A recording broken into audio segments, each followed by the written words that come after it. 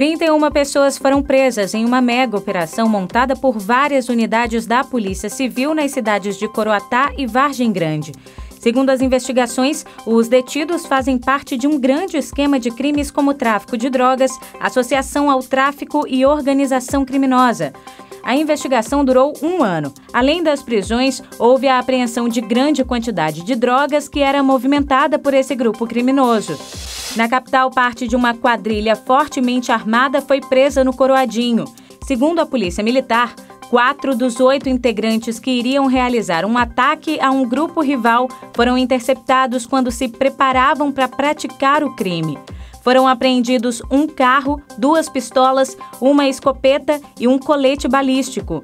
A APM continua realizando buscas para prender o restante dos criminosos. A Polícia Rodoviária Federal apreendeu 400 quilos de frango transportado ilegalmente na BR-010, próximo ao município de Porto Franco. A PRF ainda não sabe o destino da carga, mas conseguiu realizar a apreensão em uma abordagem de rotina. O condutor do veículo não possuía qualquer documentação que comprovasse a procedência do alimento.